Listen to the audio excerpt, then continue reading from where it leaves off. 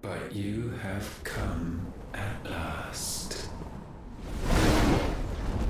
And now we shall be truly complete.